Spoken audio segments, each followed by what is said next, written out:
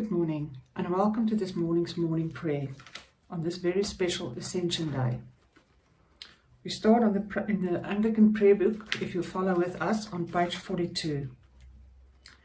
In the name of God, Father, Son and Holy Spirit. Amen. We have come together as the family of God in our Father's presence to offer him praise and thanksgiving, to hear and receive his holy word to bring before him the needs of the world, to ask his forgiveness of our sins, and to seek his grace, that through his Son, Jesus Christ, we might give ourselves to his service.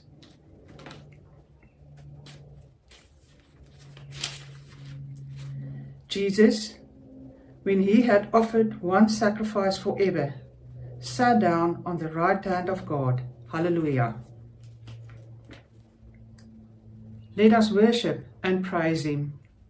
Lord, open our lips, that we may glorify and praise your name. Glory to the Father, and to the Son, and to the Holy Spirit, as it was in the beginning, is now, and will be forever. We say Psalm 100 together. A shout to the Lord in triumph, all the earth. Serve the Lord with gladness, and come before his face with songs of joy. Know that the Lord, He is God. It is He who has made us, and we are His. We are His people, and the sheep of His pasture. Come into His gates with thanksgiving, and into His courts with praise. Give thanks to Him, and bless His holy name. For the Lord is good, His loving mercy is forever, His faithfulness throughout all generations. Glory to the Father, and to the Son, and to the Holy Spirit, as it was in the beginning, is now, and will be forever. Let us call to mind and confess our sins. We pray together. Almighty God, our Heavenly Father, in penitence we confess that we have sinned against you through our own fault in thought, word, and deed and in what we have left undone. For the sake of your Son, Christ our Lord, forgive us all that is past, and grant that we may serve you in nearness of life, to the glory of your name. Almighty God, have mercy on us. Forgive us our sins, and keep us in eternal life. Through Jesus Christ our Lord. Amen. Our psalm set for today is Psalm 24 and can be found on page 631 in your Anglican prayer book. I'll read the psalm. The earth is the Lord's and all that is in it, the compass of the world and those who dwell therein. For he has founded it up on the seas and established it upon the waters. Who shall ascend the hill of the Lord, or who shall stand in his holy place? He that has clean hands and a pure heart, who has not who has not set his soul upon idols, nor sworn his oath to a lie. He shall receive a blessing from the Lord, and recompense from the, from the God of his salvation.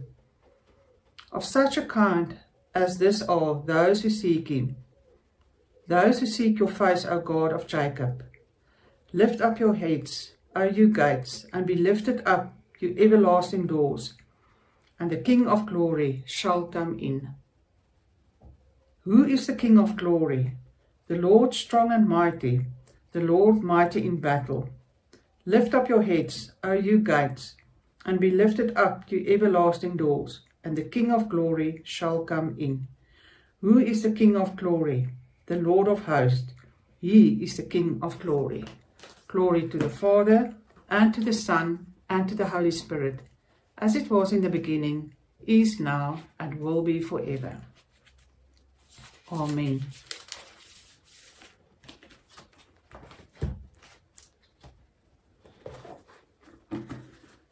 The first reading for today is taken from the Old Testament and it can be found in Ezekiel. We'll be reading Ezekiel 1, 1 to 14 and then 24 to 28. Ezekiel 1, 1 to 14. In the thirtieth year, in the fourth month of the first of, the fifth day, while I was among the exiles by the Chebar river, the heavens were opened, and I saw the visions of God. On the fifth of the month, it was the fifth year of the exile of King Jehoiachin. The word of the Lord came to Ezekiel the priest, the son of Buzi, by the Chebar river in the land of the Babylonians. There is the hand of the Lord was upon him. I looked, and I saw a windstorm coming out of the north, an immense cloud with flashing lightning, and surrounded by brilliant light. The center of the fire looked like glowing metal, and in the fire was what looked like four living creatures. In appearance, their form was that of a man, but each of them had four faces and four wings. Their legs were straight, their feet were like those of a calf and gleamed like burnished bronze. Under their wings, on their four sides, they had the hands of a man. All four of them had faces and wings, and their wings touched one another. Each one went straight ahead, and they did not turn as they moved. Their faces looked like this. Each of the four had the face of a man, and on the right side, each had the face of a lion, and on the left on the left side the face of an ox. Each also had the face of an eagle. Such were their faces. Their wings were spread out upward. Each had two wings, one touching the wing of another creature on either side, and two wings covering its body. Each one went straight ahead. Wherever the Spirit would go, they would go, without turning as they went. The appearance of the living creatures was like burning coals of fire, or like torches. Fire moved back and forth among the creatures. It was bright, and lightning flashed out of it. The creatures sped back and forth like flashes of lightning. We continue at verses 24 when the creatures moved, I heard the sound of their wings, like the roar of rushing waters, like the voice of the Almighty, like the tumult of an army. When they stood still, they lowered their wings. Then there came a voice from above the expanse over their heads, as they stood with lowered wings. Above the expanse, over their heads, was that looked like a throne of sapphire, and high above on the throne was a figure like that of a man. I saw that from what appeared to be his waist up, he looked like a glowing metal, as if full of fire, and that from there down looked like fire, and brilliant light surrounded him. Like the appearance of a rainbow in the clouds on a rainy day, so was the radiance around him. This was the appearance of the likeness of the glory of the Lord. When I saw it, I fell face down and I heard the voice of the one speaking. Here ends the first lesson.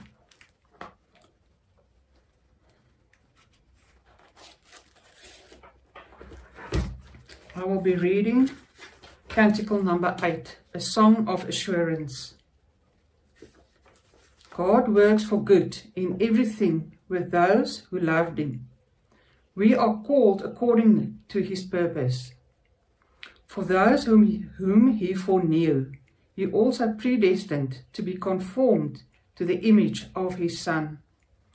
And those whom he predestined, he also called. And those whom he called, he also justified. And to those whom he justified, he has also given his splendor.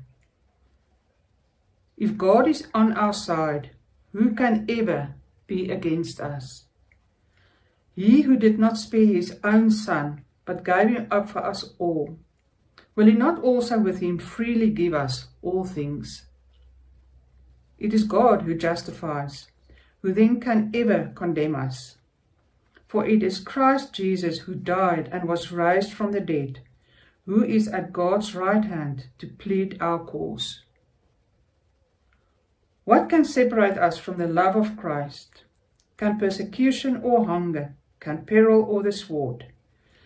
No, in all these things we are more than conquerors, through him who loved us, even Jesus Christ our Lord.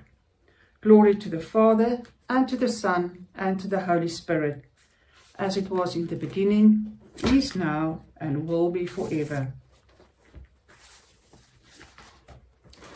The second reading this morning comes from the New Testament, from the book of Hebrews, chapter 2, and I'll be reading from verse 5 to 18.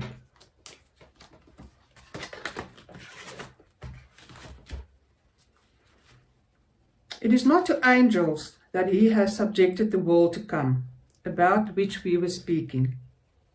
But there is a place where someone has testified. What is man that you are mindful of him? You made him a little lower than the angels. You crowded him with glory and honor, and put everything under his feet.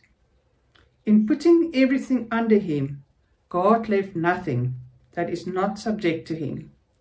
Yet at present we do not see everything subject to him, but we see Jesus, who was made a little lower than the angels, now crowned with glory and honor, because he suffered death, so that by the grace of God he might taste death for everyone. In bringing many sons to glory, it was fitting that God, for whom and through whom everything exists, should make the author of their salvation perfect through suffering both the one who makes men holy and those who are made holy are of the same family. So Jesus is not ashamed to call them brothers. He says, I will declare your name to my brothers. In the presence of the congregation, I will sing your praises. And again, I will put my trust in him. And again he says, Here am I, and the children God has given me.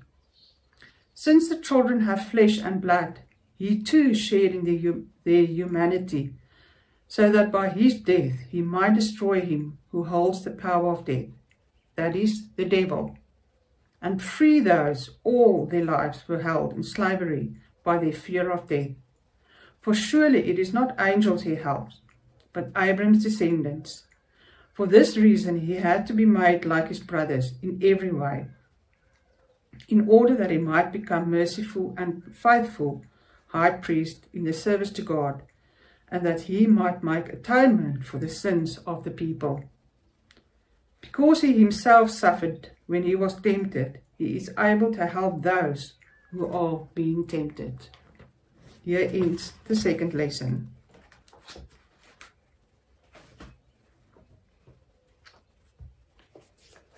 Before we go in a time of prayer this morning, I would like to read a prayer to you that I came across.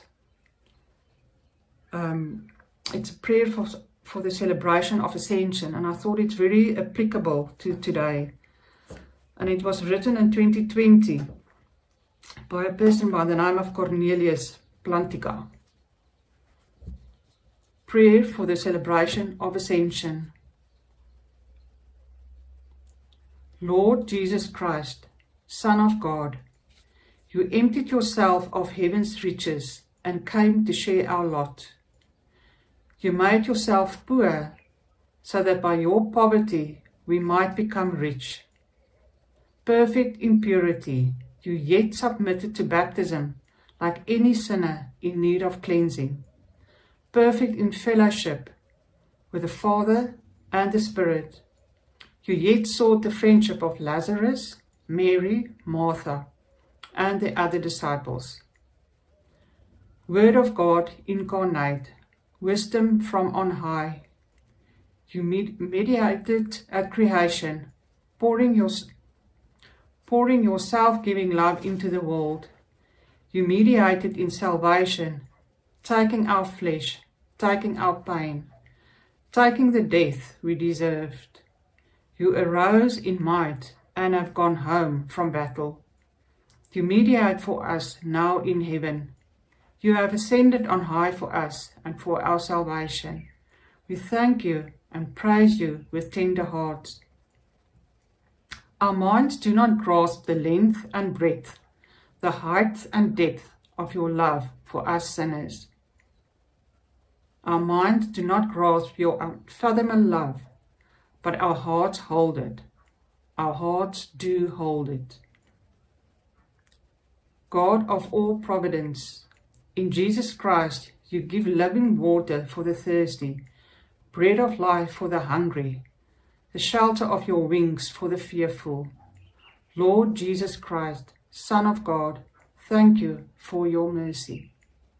Dim in knowledge, I call to you, Christ, be my light. Cold of heart, I cry to you, Christ, be my warmth. Unsure at crossroads, I appeal to you, Christ, be my guide.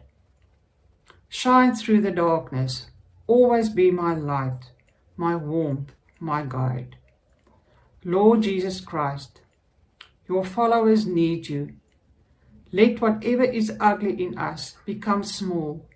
Let whatever is beautiful become large. Let our fears become small. Let our confidence in you become large. Shrink our pride, enlarge our humility. Shrink our envy, enlarge our gratitude. Rise above our pettiness, O Lord Christ. Rise above our sorrows and fears, and let us rise with you. Amen.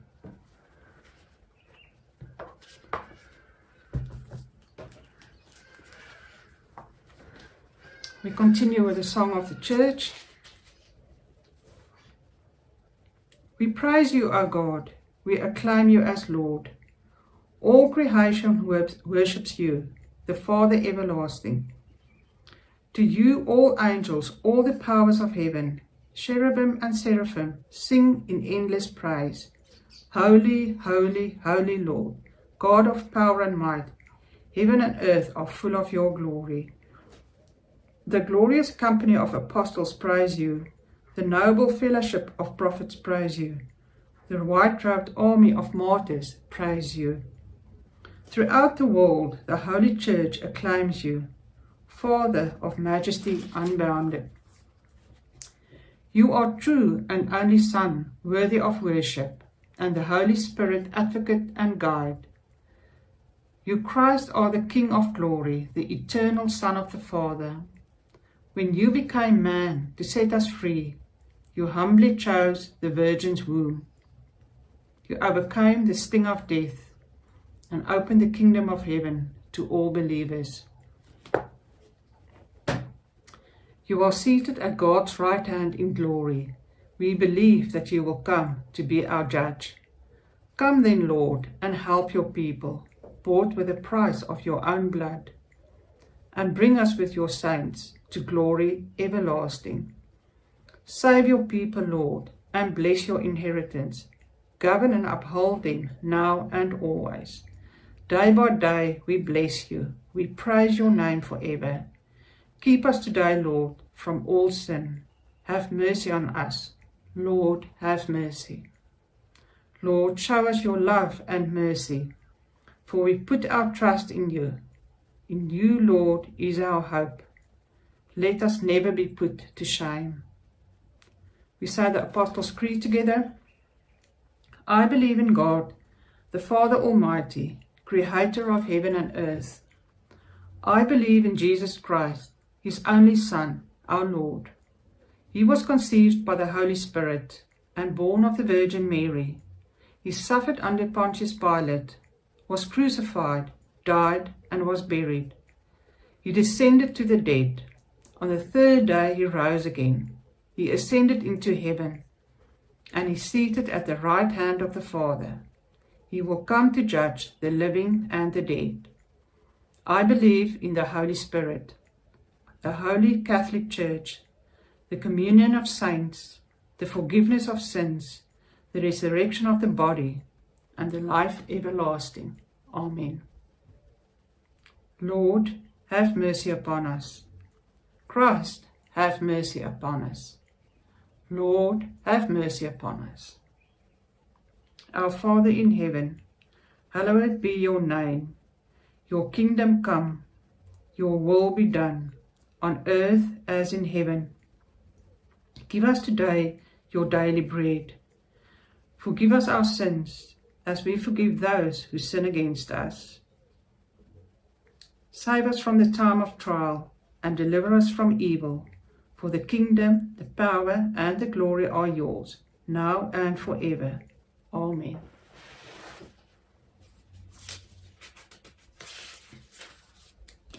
We will now go, now go into a time of prayer.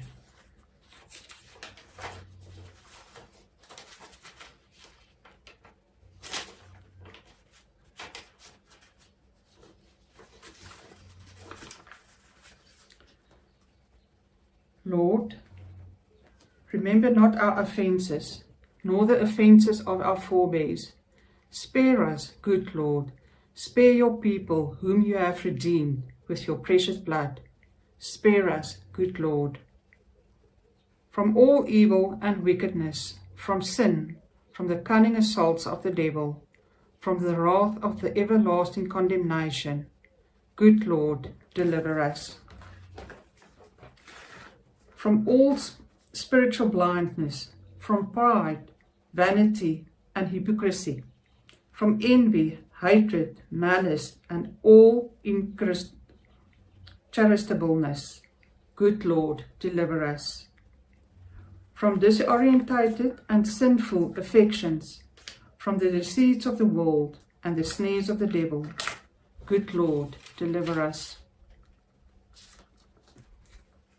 From all the false doctrine, hearsay, and schism, from hardness of heart and from contempt of your word and commandment.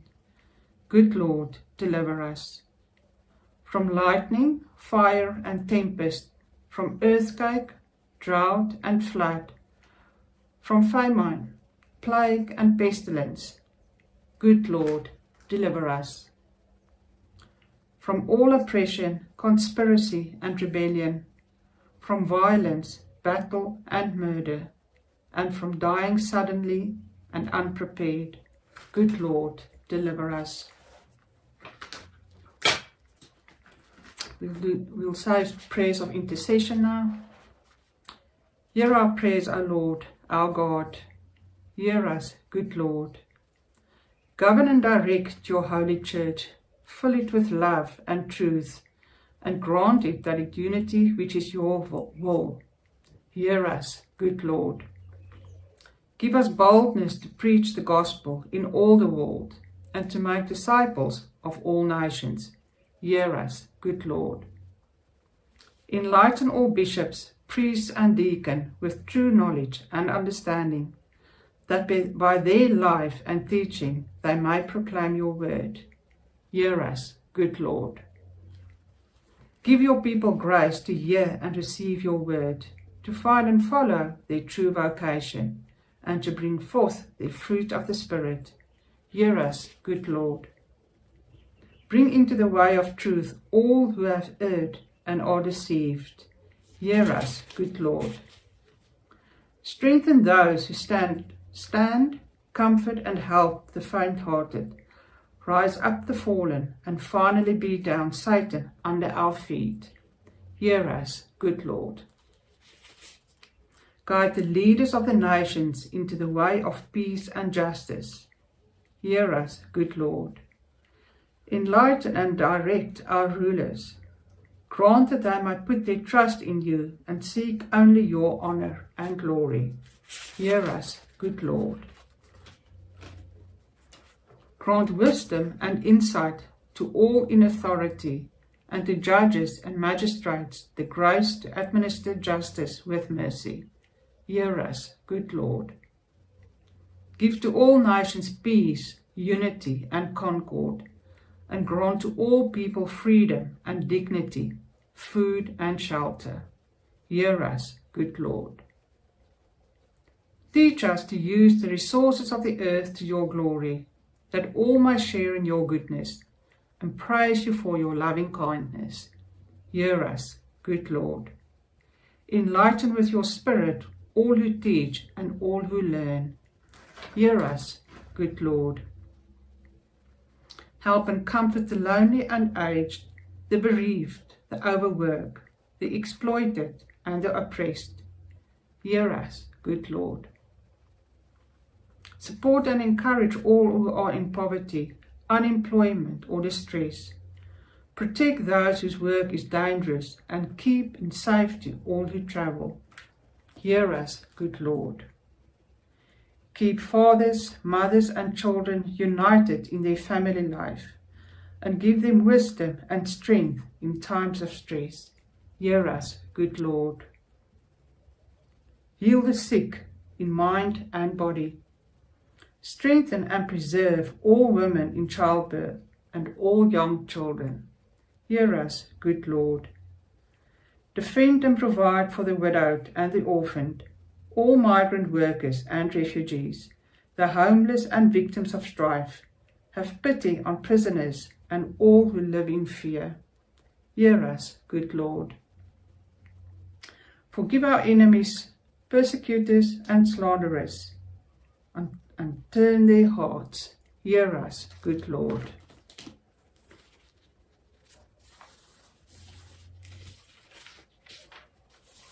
We continue with a thanksgiving for the church. Almighty God, we praise you for the blessings brought to humankind through your church. We bless you for the grace of the sacraments, for our fellowship in Christ, with you and one another, for the teaching of the scriptures, and for the preaching of your word. We thank you for the holy example of your saints for your faithful servants departed this life, and for the memory and example of all that has been true and good in their lives. Number us with them in the company of the redeemed in heaven, through Jesus Christ our Lord.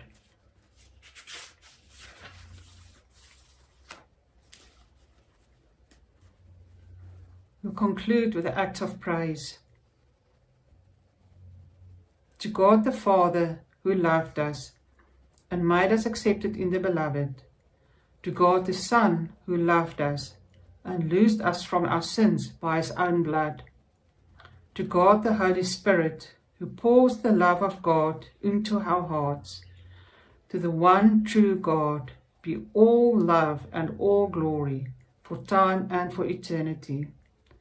Now to him who by the power at work within us is able to do far more abundantly than all that we ask or think.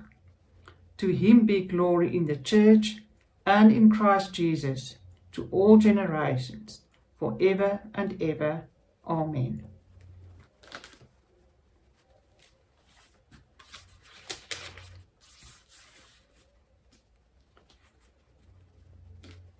We continue now with the collect of the day.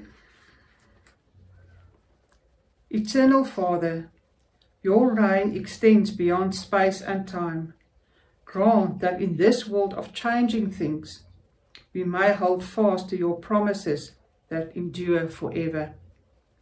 Through Jesus Christ our Lord, who lives and reigns with you and the Holy Spirit, one God, now and forever. Amen. The Collect for Peace our God, the author of peace and lover of concord, to know you is eternal life. To serve you is perfect freedom. Defend us, your servants, from all assaults of our enemies, that we may trust in your defense and not fear the power of any adversaries. Through Jesus Christ our Lord. Amen. The morning collect is eternal God and Father, by whose power we are created, and by whose love we are redeemed. Guide and strengthen us by your Spirit, that we may give ourselves to your service and live this day in love for you and one another. Through Jesus Christ our Lord. Amen. The grace of our Lord Jesus Christ and the love of God and the fellowship of the Holy Spirit be with us all forever and ever. Amen.